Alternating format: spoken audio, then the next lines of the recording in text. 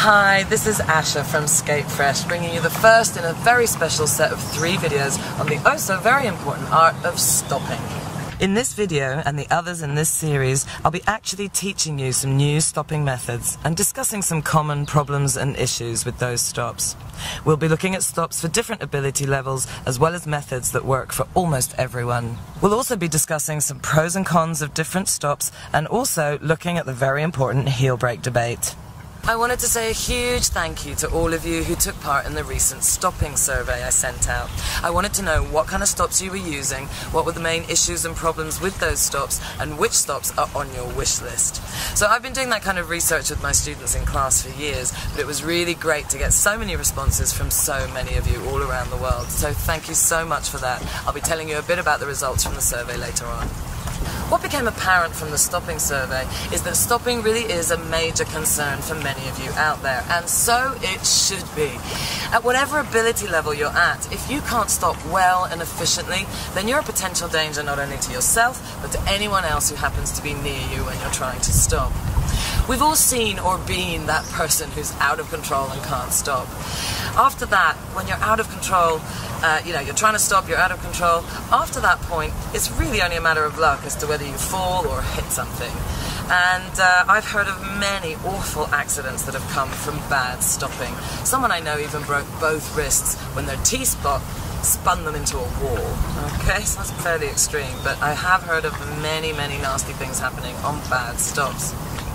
So when you do have a bad stop, a failed stop can result in, you know, minimum falling, getting injured, but the also other unfortunate thing is collision with other people, so pedestrians, other skaters, cyclists. None of this is good for anyone involved.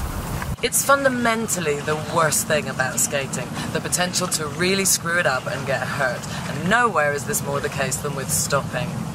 Stopping skills are also technically more difficult than all the other skills to learn and master.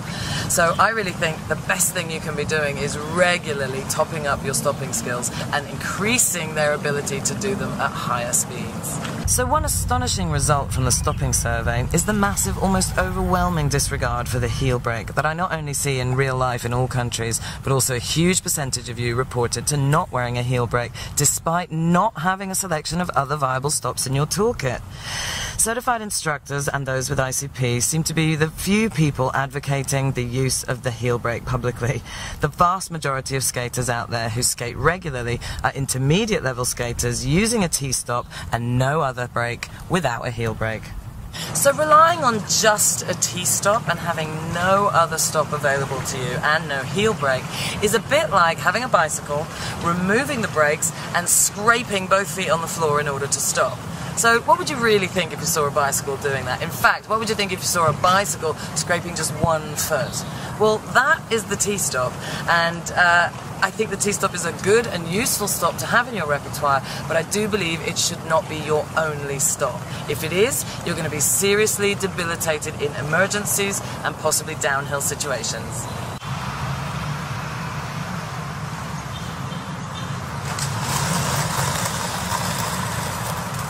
So I think the T-stop is a great stop, don't get me wrong. But I do think it should be called the T-slowdown, because using it in emergencies can be pretty tricky and it will wear out your wheels. So when you need to stop definitively and properly, I suggest you think seriously about acquiring some additional stops, such as the lunge stop and the power slide, both of which I use all the time.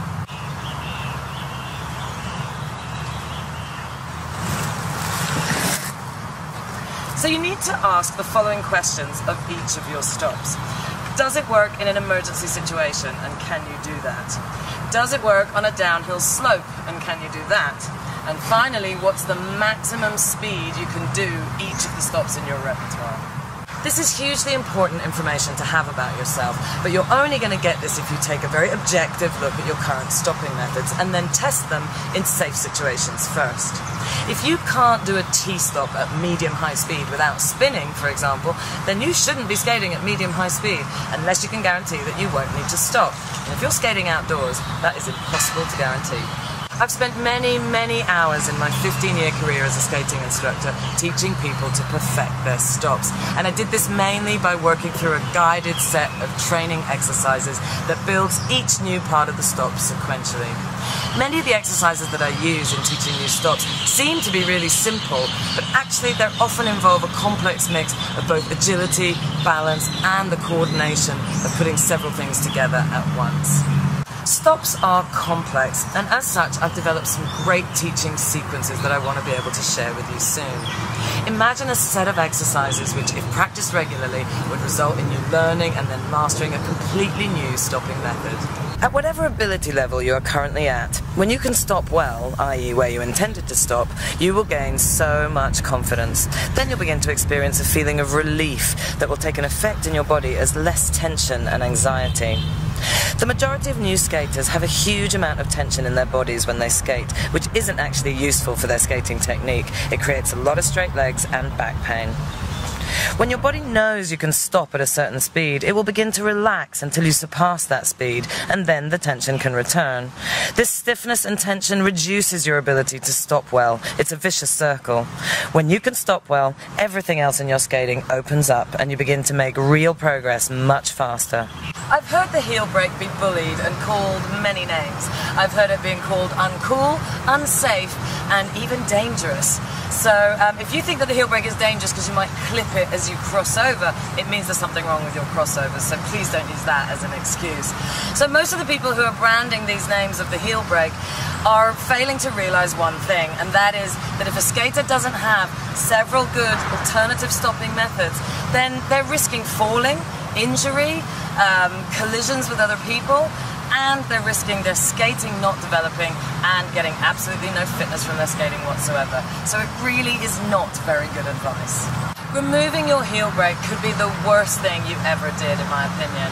Imagine a situation where you stop really well using the heel brake right in front of a child who just pulled out. Everyone in that situation is going to be impressed by your ability to stop. Okay, so imagine that situation again. Child pulls out, skater does a great heel brake stop. Do you really think that skater should be branded as uncool? Because the fact is, it's your ability to stop well that really matters and not which method you use. But I do think that the heel brake stop is the best method I know for new learners to gain control of their skates and improve well. Use stopping methods that are appropriate for your ability level and speed. And please, let's stop trying to convince new learners to remove their brakes. If you had a friend with a brand new bicycle, would you be being a great friend if you just removed the brakes? Okay, I've said enough about the heel brake. Um, I've said my bit. So, that forward power slide is not one of my best stops.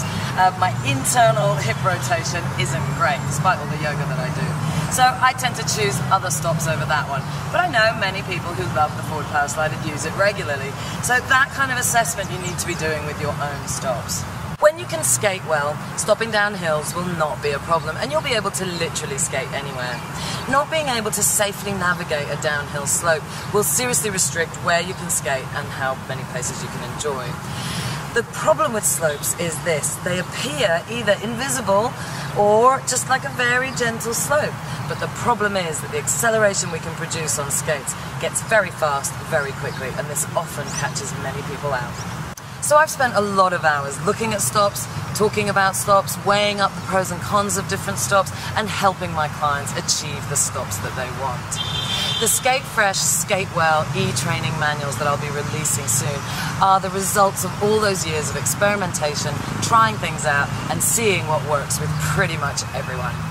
Okay, it is time for me to teach you a new stop. It is far too hot for me just to be standing in the sun talking. It's about 40 degrees today, so uh, please excuse my shininess.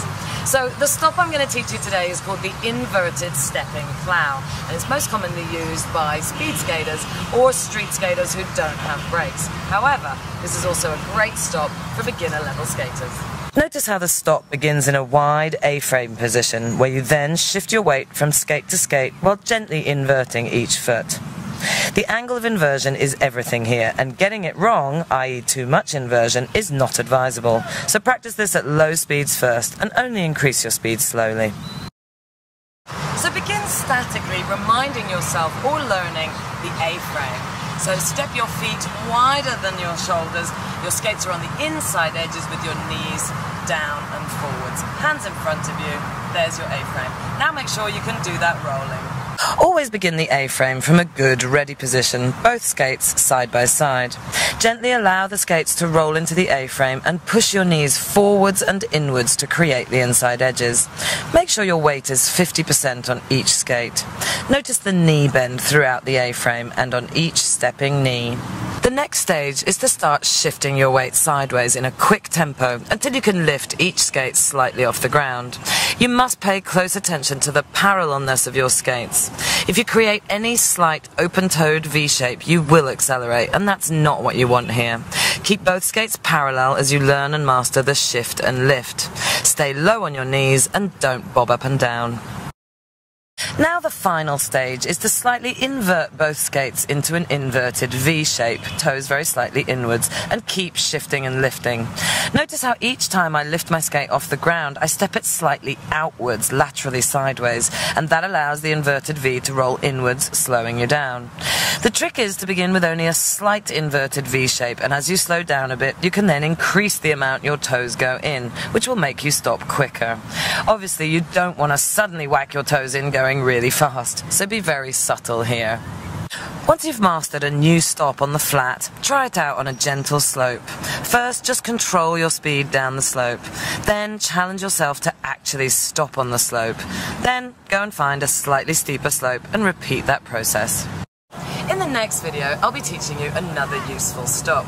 This one appeared somewhere in this video. So the stop I'll be teaching you is often used in combination with other stops because it very efficiently kills about 50% of your speed. So I look forward to sharing that one with you. In the next video I will also be talking about some pros and cons of different stops and I will also show you what are the absolute minimum stops that I think each level should be aiming for. So look out for that one in the next few days. I really hope you take seriously the need to learn and master new stopping skills. Everything in your skating relies on you being able to stop well and when you want to, and that includes your safety as well as your ability to skate fast and gain fitness from your skating. So really, it all begins with stopping. And I hope these videos have kind of trained your trained your brain, yeah, and got you into dedicating some time to making your stopping better. And I really impress on you um, the need to do that. Learning to stop is not easy, and I really hope that these videos are going to help. So look out for the next two in the series. So once again, it's time for me to get out of this oven and say thank you so much for watching, and I will see you next time.